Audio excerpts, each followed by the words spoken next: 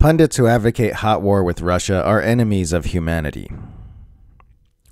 On an appearance on the MSNBC show Velshi, the Modern War Institute's John Spencer explicitly advocated direct U.S. military conflict with Russia due to allegations of war crimes in the Ukrainian city of Bucha.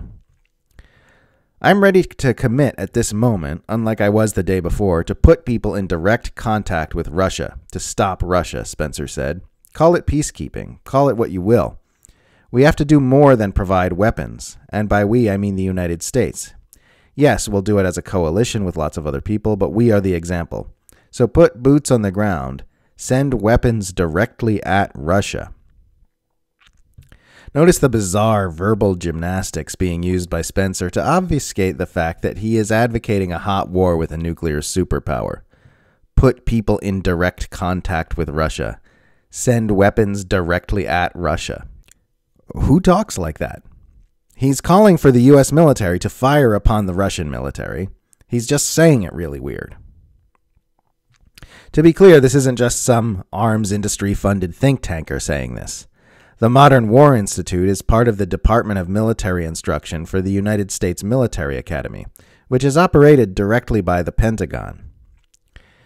Asked by the show's host, Ali Velshi, what he thought of warnings that direct military confrontation with Russia could lead to nuclear war, Spencer said, It is a huge risk. I understand that.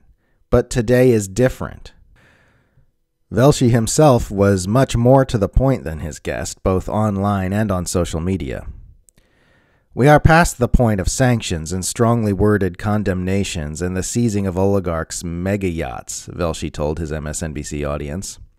If this is not the kind of moment that the United Nations and NATO and the UN and the G20 and the Council of Europe and the G7 were made for, what was the point of these alliances if not to stop this? The world cannot sit by as Vladimir Putin continues this reign of terror. The turning point for the West and NATO will come when the sign ri- rises over Kiev on Sunday and the war crimes against civilian noncombatants become visible to all, Velshi said on Twitter over the weekend. There is no more time for prevarication. If never again means anything, then this is the time to act. Asked what specifically he meant by this, Velshi clarified that he was advocating direct military involvement. Lines have been crossed and war crimes have been committed by Putin that make direct military intervention something NATO must now seriously consider, Velshi added. When I called Velshi a fucking lunatic for expressing these views, to my mind the only sane response to such madness, he argued that going to war with Russia for Ukraine would not necessarily lead to nuclear war, claiming that, quote, a no fly zone is not so different from the endless supply of weaponry the West is sending to Ukraine, end quote. These are not sane or acceptable things for mainstream pundits to be telling people. Directly attacking the Russian military would indeed risk unleashing a chain of rapid escalations that could easily lead to full scale nuclear war. There would be far too many small moving parts for this to be anywhere remotely close to predictable or controllable. A no fly zone over Ukraine would immediately put NATO powers in direct hot war with Russia, which is, in fact, completely different from shipping weapons to Ukrainian forces. The fact that a nuclear superpower cannot be regarded in the same way as a nation with nukes has been basic common sense orthodoxy for all major powers since Stalin got the bomb. This is not some kind of advanced esoteric understanding that you can only grasp if you've been studying this stuff for years. As far as I know, children are still learning about the history of nuclear weapons and mutually assured destruction in grade school.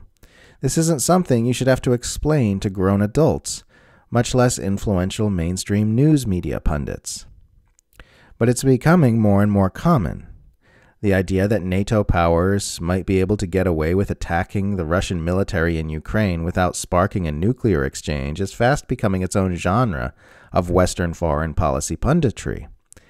And that trend looks to accelerate with the latest, arguably pretty dubious, claims of Russian atrocities in this war.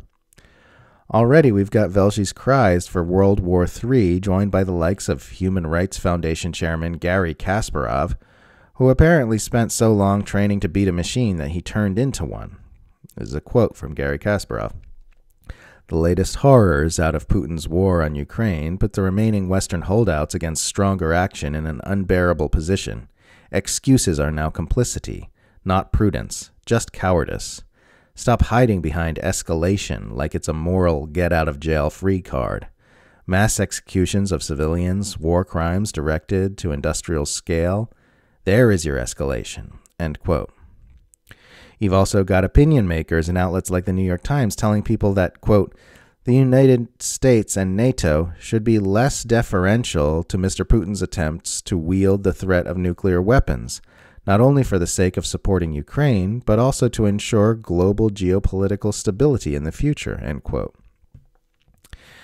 As we've discussed previously, even if these increasingly loud calls for hot war between nuclear superpowers don't immediately succeed, what they do is push the Overton window of mainstream discourse all the way over toward the most warmongering extreme possible, so that calls for more escalation seem moderate and calls for de escalation look like extremist apologia for Vladimir Putin. In the very best case scenario, they leave people far more open to consenting to far more nuclear brinkmanship than any thinking person should ever consent to. This is not okay. It is not okay for them to do this to us. It is not okay for them to normalize the idea of escalations that could easily end humankind. That is the most insane position that any person could possibly take. More insane than Nazism or any other extremist ideology you could think of. Supporting actions that might lead to human extinction makes these people enemies of our entire species. Ukraine is still accepting foreign volunteers. If these omnicidal war sluts are so horny for direct military involvement against Russia, I do wish they would just get on a plane and go do it themselves without trying to drag all of humanity into it with them. You want direct military involvement? Fine, go do it yourself. Be the direct military involvement you want to see in the world.